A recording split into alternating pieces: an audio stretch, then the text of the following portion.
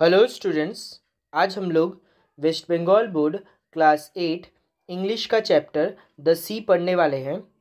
Poet का नाम James Reeves है।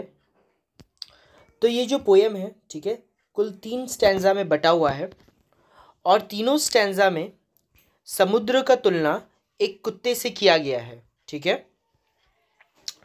और यहाँ पर जो समुद्र है, उसको तीन स्टैंजा में कुछ इस तरीके से बताया कि पहला स्टैंजा में समुद्र का तुलना एक भूखे कुत्ते से किया है।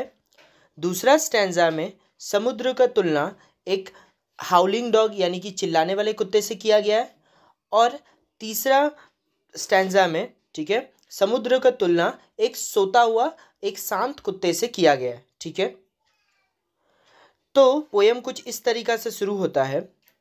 The sea is a hungry dog, giant and grey he rolls on the beach all day तो सी यानी कि समुद्र, ये जो समुद्र है, ठीक है, एक हंगरी डॉग हंगरी डॉग मतलब एक भूखे कुत्ते के जैसा है, जो कि बहुत विशाल का है और भूरे रंग का है, और वो दिन भर बीचेस में रोल करता है, ठीक है, बोलने का मतलब क्या है, देखिए the sea is a hungry dog तो यहाँ पर सी जो है उसको कंपेयर किया गया है, यानी कि जो समुद्र है, उसका तुलना किया गया है डॉग से, ठीक है, भूखे कुत्ते से। तो जब हम लोग सी का, ठीक है, जब हम लोग दो वर्ड का, ऐसा दो वर्ड जिसका कोई कंपैरिजन नहीं है है ना? देखिए सी और डॉग का, यानी कि समुद्र और कुत्ते का कुछ कंपैरिजन नहीं है, कुछ तुलना नहीं है। फिर भी पोएट ने यहाँ पर सी का तुलना डॉग से किया है। तो जब सी का तुलना डॉग से किया गया तो इस तरह का वर्ड को हम लोग मेटाफर कहते हैं। क्या कहते हैं? मेटाफर ठीक है?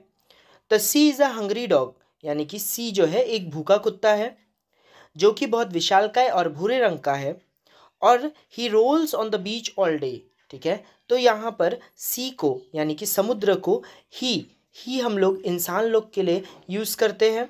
पर यहाँ पर सी का तुलना, ठीक है ही से किया गया है, यानी कि समुद्र का तुलना ही शब्द से किया गया है और ही हम लोग इंसान लोग में लगाते हैं। तो ऐसा वर्ड सबको पसोनिफिकेशन कहा जाता है, ठीक है? तो यहाँ पर जो समुद्र है, यानी कि जो कुत्ता है, ठीक है उस बीच में, ठीक है ना, घूमते रहता है तो वैसे ही समुद्र जो है, ठीक है ना, बीच में, ठीक है, ऊपर नीचे, यानी कि जब ज्वार भाटा आता है, जब टाइड्स आता है तो समुद्र क्या ऐसा होता है? थोड़ा ऊपर उठता है, फिर थोड़ा नीचे जाता है, फिर थोड़ा ऊपर उठता है, फिर थोड़ा नीचे जाता है तो वैसे ही समुद्र को यहाँ पर बोला गया है क्या कि वो बीच में जब आता है तो वो ऊपर नीचे जाता है, यानी कि ज्वार भाटा उसमें होता है, ठीक है? तो वैसे ही कुत्ता को भी कंपेयर किया है कि वो भी बीच में क्या करता है? घूमते रहता है, आगे पीछे आगे पीछे घूमते रहता है, ठीक है? समझ में आपको?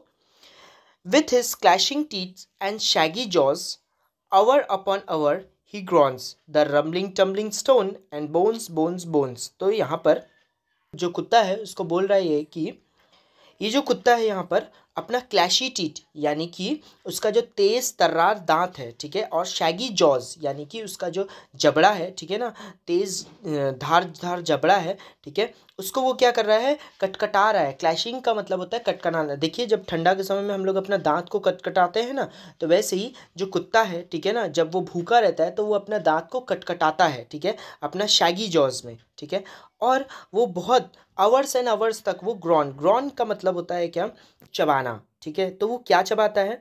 The rumbling tumbling stone and bones bones bones तो जैसे कुत्ता को जब भूख लगता है तो वो अपना दांत को क्या करता है? कटकटाता है, चिल्लाता है, ठीक है ना?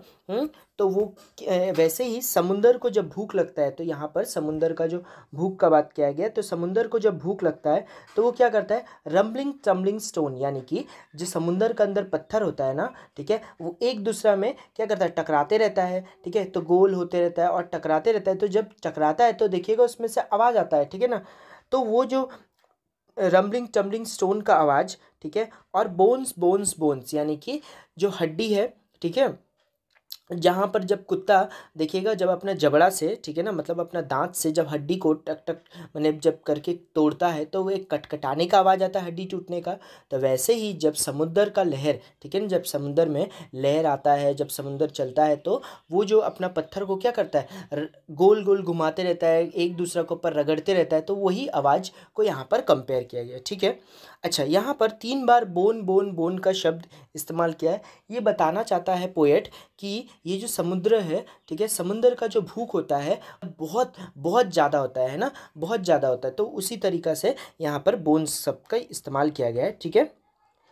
The giant sea dog moans licking his greasy paws बोलने का मतलब क्या है? जाइंट सी डॉग यानी कि एक बहुत विशाल काय समुद्र, ठीक है ना? और यहाँ पर कुत्ता को भी कंपेयर किया गया समुद्र से ना तो बोलता है क्या कि जैसा एक बहुत विशाल कुत्ता मोन्स, यानी कि ज़ोर ज़ोर से जब चिल्लाता है, जब उसको भूख लगता है, जब वो चिल्लाता है तो वो क्या करता है? अपना ही जीप से अपना ग्रेसी पॉन्स, यानी कि जो गीला मतलब उसका जो पैर है, ठीक है ना, पंजा है, उसी को क्या करता है? वो चाटते रहता है। ठीक है ना, समझ में आया? तो तो वैसे ही जब समुद्र को, ठीक है, जब समुद्र को भूख लगता है तो वो क्या करता है?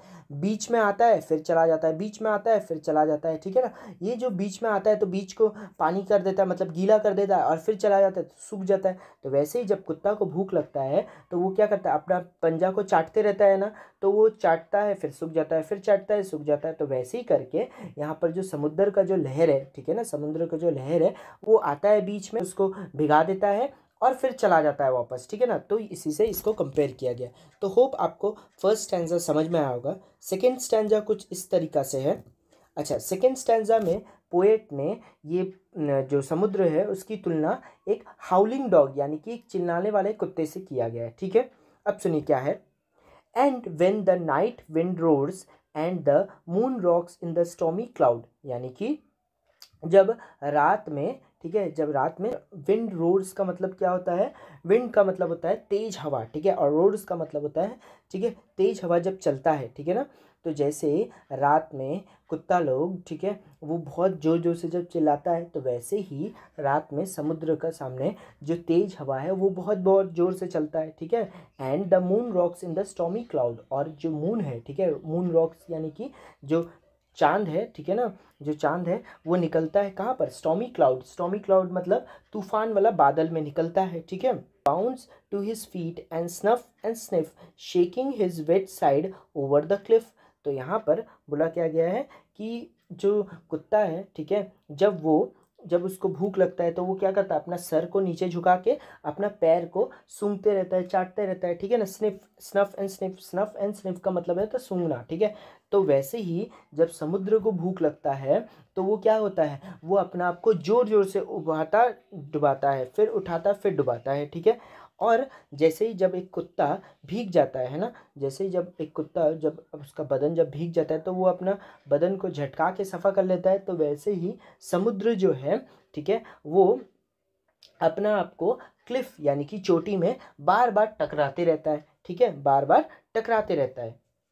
And and howls and holes long loud यानी कि जो कुत्ता है, ठीक है ना? वो ज़ोर ज़ोर से चिल्लाता है दिन भर जब उसको भूख लगता है तो वैसे ही जब समुद्र जो होता है, जब उसमें भी ज्वार भाटा आता है तो वो क्या करता है? बहुत ज़ोर ज़ोर से आवाज़ निकालता है ना समुद्र का आवाज़ समझते हैं ना? हम्म। तो सेकेंड स्टैंडर ये था। अगर आपको कुछ भी डाउट होगा सेकेंड स्टैंडर और फ़र्स्ट स्टैंडर में कुछ वर्ड नहीं समझ में आया तो आप कमेंट में पूछ सकते हैं। ये ये पोएम का लास्ट स्टैंडा और यहाँ पर पोएट ने, ठीक है कुत्ते का कंपैरिजन किया है समुद्र से, यहाँ पर जो कुत्ता है वो सोया हुआ है, यानी कि शांत समुद्र का कंपैरिजन किया गया है डॉग से, ठीक है? But on quiet days in May और June whenever the grass on the grasses on the dune तो यहाँ पर बोला गया है quiet day in May and June तो मई और जून का महीना क्या होता है? गर्मी का महीना होता है, ठीक है ना? और क्वाइट डे यानी कि शांत दिन तो जब मई और जून का दिन में जब गर्मी का मौसम रहता है तो कैसा कुत्ता लोग भी देखिएगा बहुत हफ़्ते रहता है गर्म से, ठीक है ना, वो भी शांत रहता है। तो वैसे ही समुद्र भी जो होता है, गर्मी का इसमें, ठीक है, एकदम शांत रहता है क्वाइट रहता है। Whenever the grasses on the dews play no more ready tune यानी कि जो ड्यू ड्यू का मतलब होता है सैंड का जो टीला सब होता है ना, बालू का जो टीला होता है, ठीक है ना, आप फ़ोटो में देख सकते हैं। तो इसमें जो ग्रासेस है, यानी कि जो घास है, उन लोग भी एकदम शांत रहता है, कोई आवाज़ नहीं निकालता रेडी ट्यून यानी कि कोई आवाज़ निकालता है, एकदम शांत रहता है, ठीक है? With his head between his paws he lies on the sandy shore so quiet so quiet he scarcely snore snore का मतलब होता है खराटे लेना, ठीक है? तो यहाँ पर समुद्र का बोल रहा है क्या? कि ऐसा जब कुत्ता को, ठीक है? जब कुत्ता एकदम शांत रहता है तो वो क्या करता है? अपना सर को, अपना दोनों पंजा का बीच में रख के चुप से शांति में रहता है। तो वैसे ही जब समुद्र एकदम शांत रहता है तो वो क्या करता है? वो सैंडी शोर यानी कि जो रेतीला शोर है, ठीक है ना? रेतीला किनारा है उधर पर आके वो एकदम शांत रहता है, एकदम शांत रहता है। सो क्वाइट सो क्वाइट ही स्केरली स्नॉर और इतना शांत रहता है कि ऐसा लग रहा है कि समुद्र खराटा भी ले रहा होगा कि नहीं, मालूम नहीं, ठीक है ना? मतलब एकदम शांत में सोया हुआ ठीक है? तो होप आपको ये पोएम समझ में आया होगा।